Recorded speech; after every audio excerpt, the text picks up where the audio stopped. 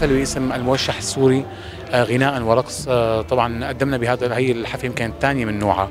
قدمنا شيء بالأوبرا بعشر موشحات من فترة وهدول العشر موشحات الثانيات.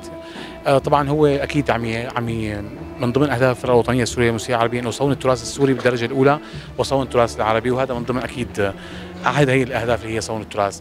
طبعا في شيء إبداعي بتقديم الموشح اليوم هو موضوع اللونية الصوتية الجديدة والرؤية المعاصرة يمكن بطرحه. من خلال التوزيع الاوركسترالي كان عم عم نسمعه نحن من من سواء كان الكورال أو سواء كان الالات الالات الآلات الموسيقية.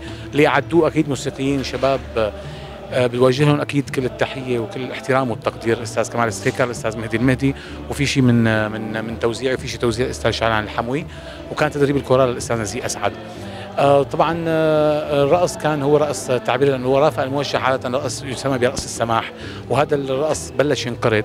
فنحن نوعا ما إنه حبينا نحيي هي آه هذه الرقصه إضافة لشغله إنه المركز الوطني للفنون البصرية كل الحفلات اللي تقدم فيه هي بده يكون فيها في شيء سمعي بصري. تماما فهو آه كان هالمرة هو موشح و وغناء هلأ الحفل القادم رح يكون ب 7 11 هو عبارة عن حفل يمكن لأول مرة بتصير هي الفكرة عندنا بسوريا. هي عبارة عن آه، سبع أو ثمان أفلام صامتة والموسيقى هي تعبر ما يجول في الصورة. رح يتم على هذا هذا المركز آه، على مسرح المركز الوطني للفنون البصرية. آه، فهي هي كانت الحفلة اليوم. في موشحات قدمت لعمر البطش لعدنان أبو الشامات لبهجة حسان لأبو خيل القباني. عده موشحات لملحنين لملحنين سوريين كتبوا على هذا القالب. كمان هذا القالب للأسف ما عاد حدا كتب آه، في هذا القالب الموشح إلا كثير قلال فكمان رغبه إنه نحن نعرف فيه رغبة إنه نوثق هي هي الأعمال بكواليتي عالي آه، من الصوت لأنه في بعض الموشحات للأسف بتطلبي انك تسمعيها فما بتلاقي جودة لتسجيل الموشحات فعم تعتمد على الكلمات وعلى النوتة فهي كانت ال كانت ال الأهداف من الحفل.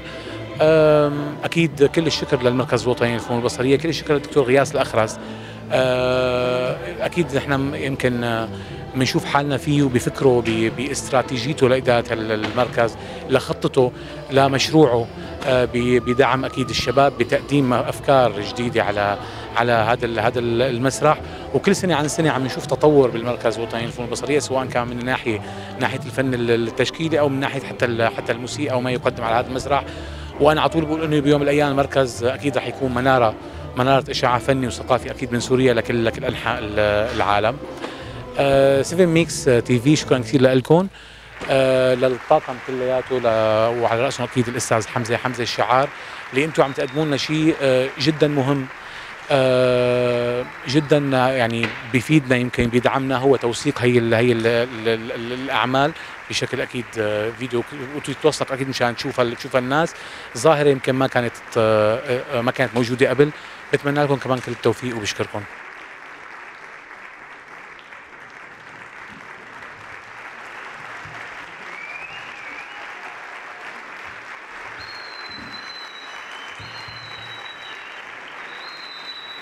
هلا الرقصات هي جاية بموشحات ورقصات سماح هي من التراث السوري يعني لأنه الموسيقى هي التراث السوري فنحن حاولنا نعمل شيء من الروح الشعبي بس أكثر رايح على مودرن. هو انبسطنا نحن كثير من فكرة الأوركسترا اللي موجودة السيمفونية اللي موجودة فلما حكانا المايسترو عدنان شكرا كثير طبعا له لما حكانا إنه بدنا هيك هيك نعمل مع موشحات وموسيقى حبينا الفكرة كثير وبلشنا نشتغل عليه من أسبوعين تقريبا. أه هلا كان في شوية ضغط لأنه ما كنا ملحوقين بالوقت يعني ما كان في معنا هذا الوقت العظيم لنعمل شيء ولعملنا الأزياء. كمان بشكر الأستاذ أحمد منصور على الأزياء. أه فأخذنا ضغط شوي والوقت كمان سرقنا بهذا الموضوع والحمد لله طلعنا بنتيجة كثير حلوة.